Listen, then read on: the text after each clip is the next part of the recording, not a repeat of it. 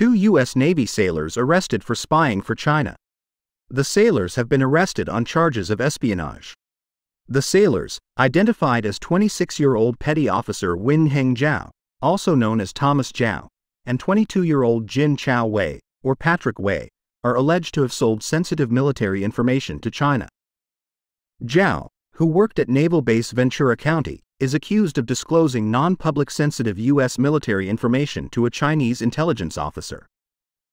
The alleged exchange involved bribes amounting to approximately $14,800.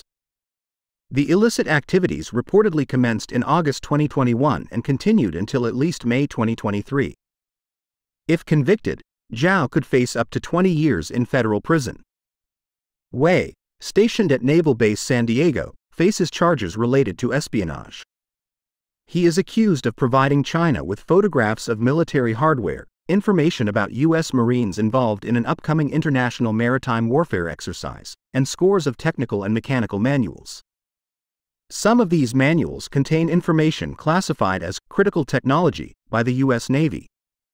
These developments have sent shockwaves through the military and security communities, highlighting the potential threats posed by individuals who compromise sensitive information for personal gain. Here are some additional details about the arrests. The sailors were arrested on Wednesday, August 3, 2023. They are both being held in federal custody.